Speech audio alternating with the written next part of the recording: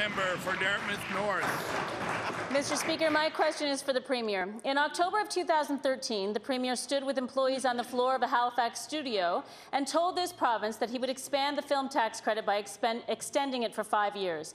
In that same announcement, the Premier said the sound recording, film, and digital media tax credits are a recognition that our path to prosperity lies with the people of this province. Uh, that was a quote, and I'll table it. Two years later, the film tax credit was slashed, and hundreds of those same people of this province have been forced to up and leave to other provinces to find more reliable work.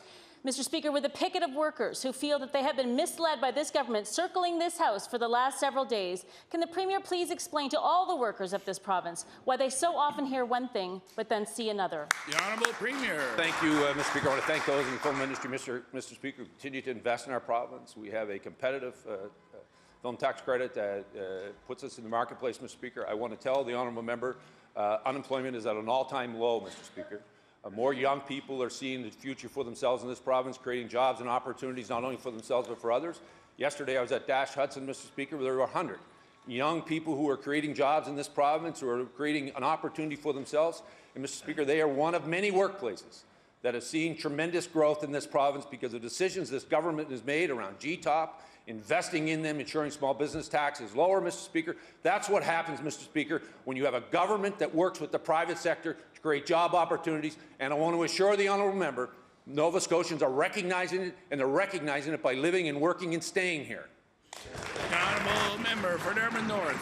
Mr. Speaker, this province does not have a film tax credit.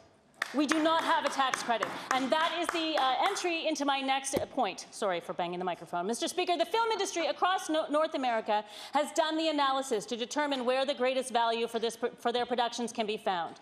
They have easy tables and calculators that plainly show which provinces will provide the best value for their money in the way of tax credits and incentives. Since this government cancelled the tax credit, Nova Scotia has now fallen to the bottom of this list, or very nearly. Nova Scotia is the only province in the country country where foreign location and service production, these are frequently the large foreign productions representing over half of the industry's value, has decreased. And it has decreased to less than 1% of the national share.